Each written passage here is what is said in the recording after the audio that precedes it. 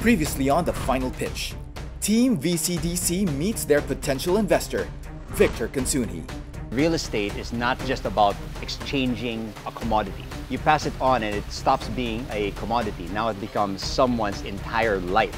And the entrepreneurs in the team go head to head in their business challenge. I, I enjoyed that part and I, I, believe I was able to answer all of those uh, questions. I think I was really nervous. Oh! This week, Damosaland's first Vice President, Cary Lagdameo, takes his entrepreneur picks to the land of promise, Davao. My name is John Aguilar, and I'm a serial entrepreneur based in Manila, Philippines. I've gathered five illustrious investors looking to fund and support the next great real estate play. Jet Yu, millennial dealmaker and CEO of property advisory firm Prime Philippines.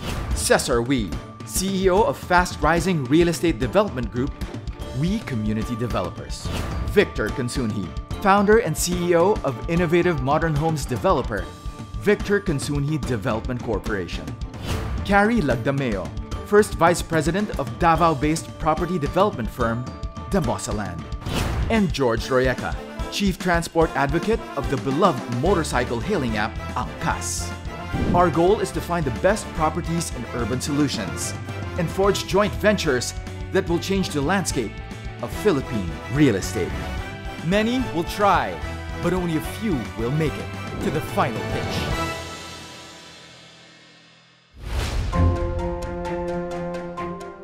Damosaland Inc., the real estate arm of the Davao homegrown conglomerate Anflocor Group of Companies, is revolutionizing the real estate development industry in the southern regions of the Philippines. Cary Lagdameo, Damosaland's first vice president, took on many hats before finally deciding to join the family business. From what I can remember, I think I was uh, a pretty studious child and that's why I actually started working at a very young age. When I was only 16 years old, I worked in the stock exchange for about two years, and that was during the summer. I don't know, I just felt that I had to do something productive. Somewhere along the way, obviously that, that changed. I ended up becoming an, an entrepreneur, setting up various businesses. One of which I, I chose to get into what I would say is the most difficult business ever imaginable, which is the restaurant business. We were also in the forwarding business, so freight forwarding and customs brokering. We did that also for a number of years. Um, eventually had to close those down, but I think the, the key takeaway there was that you know you really have to be resilient. You're not going to be successful all the time, and that's what I always tell would-be entrepreneurs: is that you're going to fail, especially in the early years of your ventures. So you just have to keep on going. Don't get discouraged. When those didn't work out, then I went back to corporate life. Before I got into real estate, I was actually in banking. But somewhere along the way also, I, I said that uh, it was time to join the family business. And I decided to join the, the real estate company of my family. Under his leadership, the real estate company experienced a remarkable surge in growth. Our group, the Anflocor Group, we're really known for agriculture. So that's uh, one of the main businesses that was started by my late grandfather back in the 1950s. So real estate is actually one of the, the newer, relatively newer businesses in, in the group. But for me, it's something that I enjoyed, something that I liked because it was something new. And of course, real estate nowadays is enjoying really a, a resurgence or an uptick in, in business. So that's where I am today, and I guess uh, the rest, uh, they say, is history. DAMOSA is actually an acronym for Davao Motor Sales. That was the first business that my grandfather uh, started here in Mindanao in the early 1950s, and that business was a dealer of Ford vehicles. He was credited with putting Mindanao on wheels. He provided trucks for whatever businesses that were starting back then. And eventually, we turned the car dealership into a real estate company. Uh, that was around the, the 1990s when that transformation happened. And we decided to keep the name because when Damosa started here in Davao, it was pretty much the only business here in this part of the city. So it became somewhat of a landmark in, in Davao. Although this is a different barangay, the name of the barangay is uh, Lanang, people knew it as Damosa. So this is also where we had our first real estate projects under Damosa in this area. So we decided to retain the name and call it Damosa Land. Well, we started first in commercial and office buildings. And then we ventured out a couple of years after into residential projects, so both horizontal and, and vertical projects. I guess you could say we experienced hyper growth and we got into hotels, industrial parks. Now we're doing mixed use projects on a much larger scale. What's actually interesting, a lot of our projects now, we try to put agriculture or an agriculture angle into these projects, and, and we do that because it's part of our heritage um, as the Anflocor Group. We take pride in being a homegrown Mindanao development company. We like to get involved in all different kinds of real estate. So it's basically wherever we see an opportunity to help the community and to help evolve the kinds of businesses, that's where we like to invest in. It's a lot of first, it's a lot of innovation. He's always been one for networking and connections because he believes that's that's a great way to entrench yourself in the business community, to get to know many people and what they do and how you can help each other out in the business ecosystem. Cary has a big advocacy for inclusive development, especially outside Metro Manila, because the Philippines has so much potential and he believes that Davao, Mindanao, has great opportunity to really expose and to show what they have. I've decided to join the final pitch. I particularly like the angle for this season because it's about real estate. I really feel that there's a lot that we can still learn and I think nowadays we really have to listen to the youth and how they can help evolve real estate because as I always say is that real estate is so much different from where it was say 10, 20 years ago. It's not as simple as just building a, a home and selling it or developing land and selling it. There's a lot of value add that we have to put into our projects because nowadays people are looking for that overall experience. We're always looking at how we can do our business better. How can we construct better? How can we do it more efficiently? How can we do it in a more green way? So we're looking at new technologies, new building methodologies that can really help our, our business. But at the same time, if they can also help the environment and if they can really help the community that uh, surrounds our projects. So our product is Waste. It's an on-demand waste hauling platform that connects homes to the facilities that recycle, upcycle, and dispose them properly. Waste, they have a great novel idea that can kind of hit two birds with one stone in the sense that you're providing a good service to the customers and you're also doing something that's environmentally friendly. I think her idea is, is something that's very exciting and if she can pull it off then she, I think she'll be very successful. How does Brookie work? Your staff simply uploads the information to the data platform. Your sales team can have access to that information anytime, anywhere by using available messaging apps such as Facebook and Viber. Brookie, everyone's favorite. It's a product that nowadays everybody needs. You know, some kind of artificial intelligence in, in, in, their business. And it's because of the, the speed. Developers will definitely pay for more than what they're offering. So I think there's a huge opportunity there. If you ask any developer nowadays, they would need to have that kind of service on their websites. We would like to revolutionize the traditional tricycle transport system that didn't change for the last 10 years. Tricycle, I mean, outside of Metro Manila, in most other provinces, tricycles are still the most common form of transportation. And even in our projects, in some of the cities that we're located in, tricycles are still the, the main mode of transport. That, that was the light bulb moment when we heard the pitch of Tricycle. We're a property tech startup specializing in visual marketing content and content management services for property presentations. Riva Staff is interesting because buyers will require that the images that you put on the internet are beautiful. It also eliminates the need for the, the developer or the broker to actually do a stylized shoot, which will really take time, it will take money, and it will take expertise. So with Riva Staff, it seems like they will provide that, that service to you.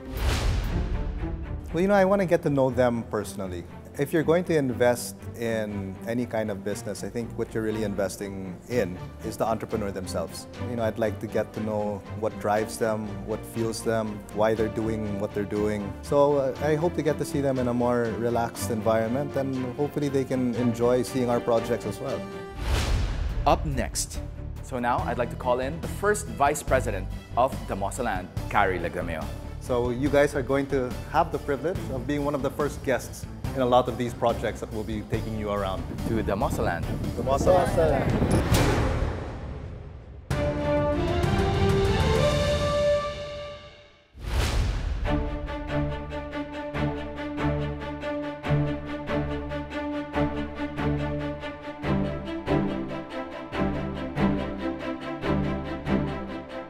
Hello, entrepreneurs. Hi, John. Welcome to the land of promise, Davao. We're here in the corporate headquarters of Damosa Land because you are the picks of Cary Florendo Lagdameo for the final pitch. Now, traditionally, the Anflocor Group has been in an industry that has been one of the oldest industries in the world, that is agri, and you all are pitching technology companies. So this is your chance to be able to convince a traditional business to embrace technology moving forward. So now I'd like to call in the first Vice President of Damosa Land, Cary Lagdameo. Cary. Hey, John. Hi, entrepreneurs. Hi. Welcome to our beloved city, Davao City. We have a, quite a busy two days lined up for you guys. We'll be touring you around several projects across the city and even in nearby cities. So you guys are going to have the privilege of being one of the first guests in a lot of these projects that we'll be taking you around. Oh, we're excited. Awesome. Good, good. We look forward to it. So right now, Cary is going to give a quick tour of the corporate headquarters. Let's get started. Well, I think the projects that we'll be showing them what Damosa Land is all about, but what also what Davao is all about. As we go around and we show them the different projects, I, I want to see how their mind will work. If there are more ideas that come about because of them seeing the projects, and who knows, hopefully we can collaborate in the future with them. So entrepreneurs, we'd like to start it here at our what we call our heritage wall. So the company has its roots dating back all the way to the 1940s. And you can see here, this is our, my grandfather and, our late founder, Antonio Florendo, here with um, Henry Ford himself. He brought the Ford brand here to Mindanao. He was known to be the man who put Mindanao on wheels. When Ford exited the Philippines in the 1980s, the company slowly transitioned to that of a real estate company. Damosa became Damosa Land in 2004. Then we started our commercial developments and our office developments here in the Damosa district here in Davao City. We branched out into residential projects, industrial parks, mixed-use projects, and hotels. We like to invest in areas where we see opportunities to uplift the lives of people here in Mindanao, and now we're doing that through real estate. Next stop on their tour is the Davao Diamond Tower, located within the Damosa IT Park. Our new office tower, when you look at the architecture, it's actually based on agriculture. Our challenge was how can we depict the heritage of our family and the heritage of Mindanao, which is agriculture, into the architecture of the building. So when you look at the exterior of the building, it depicts a cross section of banana fibers. Yeah, we were able to put our heritage into the architecture of the building. This is uh, what the common elevator lobbies of the building will look like. So we equipped it with five high-speed elevators. We also wanted to give it um, a lot of space with a lot of sunlight. So actually this will be a window here. So there's going to be a lot of natural light. Again, we're trying to be sustainable as well. You know, the architectural fins in the exterior of the building will also serve dual purpose. So it's not just for the architectural look, but it will also help to deflect uh, the sunlight. We really hope that this will become somewhat of a, a monument in the city, something that when a Davaoenyo sees the building, they can be proud of and say, yeah, that's in my city. This is actually one of the last buildings that you'll see when your plane lands. Hopefully it'll also serve as like a welcome, welcome to Davao. When they see the building, they'll know, okay, I'm in Davao City.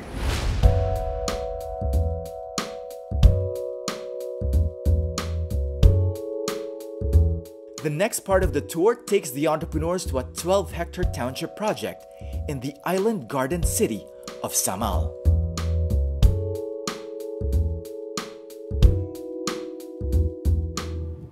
Come here to Bridgeport, this is the first thing that we will be able to see here. This is what we call the Welcome Pavilion. And right away, we'll introduce you here to our scale model. So the total project, it's about 13 hectares, including everything along the seaside and extending up until the mountaintop. Actually, where you see those coconut trees straight ahead, that's where the site for the first condominiums will be. So can you imagine, you come in on your boat, you go up to your condo, and your view is you know, almost a 360 degree view of Davao City and of Samal Island.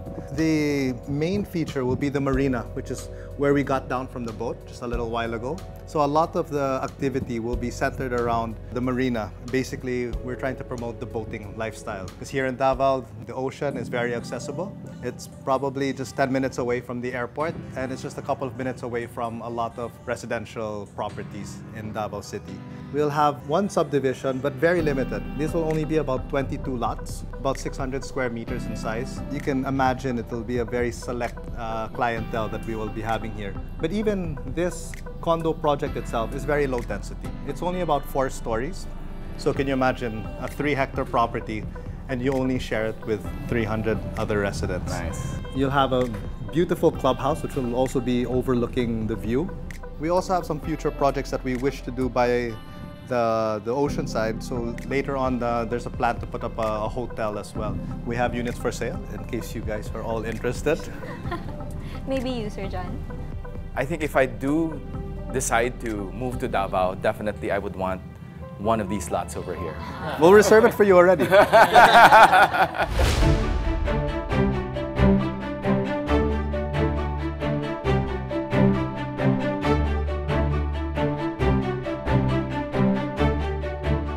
After touring the island property, the team sits down to know more about each other and their businesses. Wow, what a perfect setting. But you, you know what? As beautiful as this setting is, it's also a very important time because this is the time when you can actually ask your questions. I will leave you first because I know that you have to get down to business. Okay. Okay? All right. See you in a bit. Anyone, if, if you guys would like to start asking questions about what you've seen or just about anything in general, please feel free. So I'm very happy actually that you were actually into the waste management. It really goes way back to, I guess, our agricultural roots. We became very conscious of our environmental efforts. It's something that we're becoming more particular about. We want to make sure that one, it's collected properly, it's segregated, and third, that it really gets to the proper place. Yes. What resonates with me with me most is when you said your mission is to uplift the lives of the people that surrounds the company and that's one of the things why I also get into business is we want to educate also our local realtors Stay true to that vision by having a well-intentioned business. That's something that can really last for generations and that's true development. So stick with that. Yeah, to add on to what he was saying, to be in real estate, to be a visionary, also means to cope up with technology as well. Because I think that goes hand in hand. To execute your vision, you need to have the technology that supports it. That is why we created Brookie. And how many customers do you have already? We are currently at four clients. Four clients. Anyway, I think there's there's some ways that uh, the business can be improved. I see where the opportunities lie as well. Good, good. So right now, I just wanted to be honest that the whole day I was figuring out how to add value on your company. Right now, I don't have the answer. If you wanted to alleviate poverty one tricycle at a time and creating trikepreneurs and developing, evolving their lives, For me, the way I see it, it's the kind of thing where you have to start basically one tricycle driver at a time and let that word of mouth just spread. Because once you're able to convert somebody to, to use your app, then right away the tricycle driver will see how much better it is. So people will start to gravitate towards using the application. It's not going to be an overnight thing. Okay. I'm sure that you guys um, were able to ask your questions and Cary, I, I hope that that was enough time for you to get your, your answers. Yeah, very interesting discussion we had. And with that, I'd like to propose a toast to Damosaland. And as we always say, it's good to be home.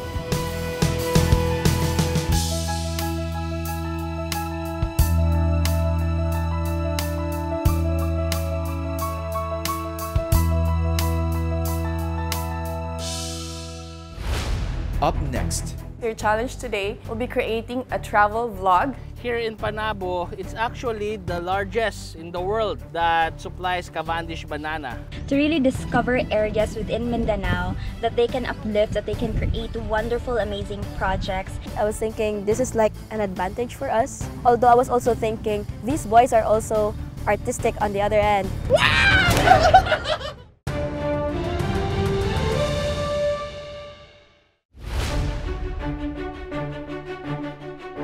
It's day two of Team Damosa's Davao Projects Tour. This time, Cary takes the team to the Anflo Industrial Estate in Panabo City, Davao del Norte. Well, welcome to the Anflo Industrial Estate here in Panabo City, Davao del Norte. And this is a project that I would say is very close to my heart. And I think a big reason for that is that this is actually one of the only working agro-industrial parks in the country today. Whereas most industrial parks are focusing on other kinds of manufacturing, we like to target companies that are involved in the whole value chain of agro-industrial processing or agribusiness.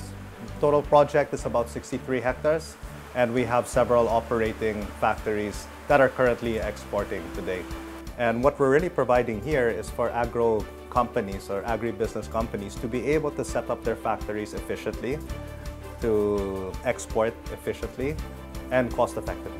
It's like a co-working space for agri. okay, I guess you can say that, yes. The team finally heads to the 88 hectare agri-tourism and naturetainment project of Damosa Land for their business challenge. Hello, entrepreneurs. Hello, Hello. Welcome to Agriya here in Panabo City. I hope um, you are well rested because this 88 hectare project is the site of your business challenge. This project, Agriya, is actually the product of 10 years of planning. We recently launched this project this year in 2019. We believe it's the only master plan township in the country whose main focus is agriculture.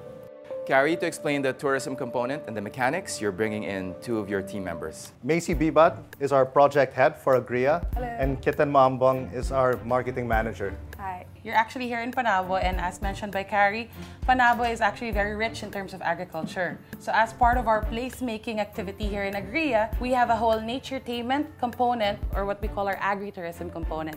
And then Kitten will explain further the challenge for today. Okay. I hope you guys are ready and you had a sunscreen on because your challenge today will be creating a travel vlog regarding the project, making sure that the three brands are being um, mentioned, the Damosa Land, Agriya, and Ameria, which is the residential component of Agriya. And the main objective of the travel vlog should be creating awareness about the project and the importance of agriculture. So we've divided you into two teams. So for today, it's the men versus the women. So Reva Staff and Tricycle, you are team, would you care to guess? Reva Cool. Reva Cool. That's correct. And Waste and Brookie, care to guess your team name? Brookhaste? Your Waste Key. Waste Wait. So for this challenge, we will be giving you one hour to complete your vlogs. So entrepreneurs, your one hour starts now. Let's go, bro. Let's go. When I heard that it was gonna be a vlog, it's like, yes, I can do this. I do this all the time. Welcome, to Agriya! Okay, let's try that again, just to make sure we have good footage. So hi guys, welcome to our channel. Rava Cool. This is our First first, vlog in Mindanao edition. In We're in Panabo City. Yeah. It really complements, you know, my personality teaming up with Nico. The output would be awesome. One, two, three, go. We have lettuce, alugbate, and the rest of the harvest. Hey guys, so this is the pick and pay area, or otherwise known as the high value crops areas. I was thinking this is like an advantage for us. Uh, girls is more into the marketing side of things. Although I was also thinking these boys are also artistic on the other end. Let's see. Here in Panabo, it's actually the largest in the world that supplies Cavendish banana. Panabo is also very international because we have a Taiwanese banana in Mindanao. Oh my god, my horn! Hi, Kuya! Uh-oh. Uh-oh! call of nature. Okay, so we're now here at the coconut walkway and there's two types of coconut right right here. So right now you're going to Going to play! Okay then. And having a facility like that in a development like this one, an awesome place for for family bonding and to create family memories. And then there's, whoa, go, go, go. I also enjoyed taking the footage of her going around. I thought that was a fun, fun shoot. Ang init brother, ligo muna ako. OJ, kamusta ang ligo mo? Sarap brother! Sarap! Okay. We did that for ano, entertainment purposes. Kasi we wanted our viewers not just to be serious about things. There is joyful way to explore things. So right now we're here in the aquaculture area and I think we caught some crabs. Crabs! Ayun! Oh! Yay! It was my first time also to see how you catch crabs. So for me, that was an interesting experience. Where to next? Kambingan! Kambingan, let's go bro! It has a very provincial feel out of it, so especially uh, again if you're living in the city, it's kind of nice to see that kind of scene. Now we're headed to the Aqua Fun area, which is the boating area. And we're gonna try the paddle boat. Yes! Wow! Napafry yung puwet ko. So by the way guys, Agriya is located in Panabo City. Yes, this is just 35 minutes from Davao City. Mm-hmm. And it's also the great advocacy of Damosa Land to really discover areas within Mindanao that they can uplift, that they can create wonderful, amazing projects. And I think that's what embodies their core value of Malasakit. Entrepreneurs, you have five minutes to go. Let's do this! Arriving at the aqua farm, it is 55 minutes already consumed. So we have 5 minutes to strategize things. Luckily, what he did is he grabbed those crabs and play it around. Sa akin galit ay aray. Ihahagis lang namin? Pa ganyan? Ah! oh my God, may nakuha ko. May nakuha ako. Sayang, dapat pala pinakalagay ko na. Sorry. Kinain lang niya yung worm, tapos umalis. Pakundo! Yes, sir! Ihanda ang pickup! Masusunod, sir! Ito na ang pickup. sir, nahanda na po ang inyong pickup. Your time ends in five, four, three, two, one, and that's it.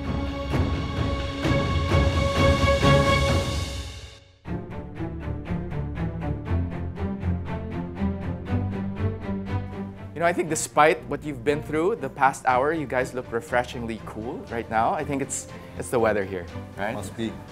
You know, we've had a great two days with you, and this last experience with you experiencing this project, it will be documented in your individual blogs that we will give you one week to prepare and eventually submit. And the winner of this challenge will be revealed during the final pitch. But Cary, the two days spent with these entrepreneurs have been awesome. Yeah, so entrepreneurs, thanks so much. I hope you guys learned a lot from all of the different projects that we took you around to. And we hope that you got a perspective of our Davao and what we've been harping on here in Mindanao. And that there's so much opportunities in real estate, in agriculture. And so we hope that it really opened up your eyes. Thank you so much for all of your efforts, and we look forward to seeing your vlogs. And we look forward to seeing you deliver your final pitch. Until then, great job today.